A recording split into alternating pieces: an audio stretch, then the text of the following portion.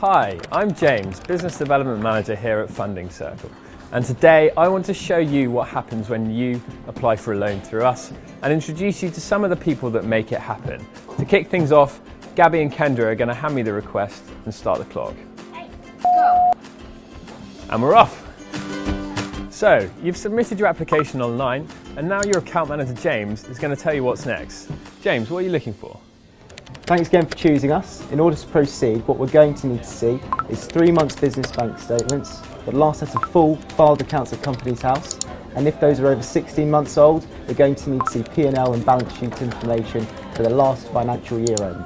Once we get all of that through, we'll be sure to pass it through to our underwriting assistants. Good stuff, let's make it happen. Here's Harry, your underwriting assistant. Harry, what do you do? So as part of my job, I'll look at the initial credit checks for both the consumer and the business. We'll also carry out some searches on the financials and take a look at the documents that you guys have submitted.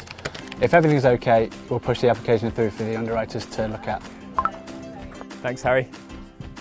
Now we're ready for the next stage, which is underwriting. And Aristos, our head of underwriting, is going to tell you what we're looking for. Ari, what are we after? We're after affordability and stability, and we assess this by looking at three months bank statements, two years filed accounts, and searches on the directors and shareholders. And if everything stacks up, we send an approval out as soon as possible, James. So, Ari, the underwriter, will send you an email with the offer conditions and the loan contract. Once you've got the contract signed, scan all the documents back to us, and Izzy here will pick things up. Izzy, Thanks, James. Here on the Docs team, there are five things we need from you, and if you can get them over to us in one go, it'll make things really easy. We need a full loan contract signed by a company director. If it's a limited company, a personal guarantee, a direct debit mandate, an ID and proof of address documents for all guarantors.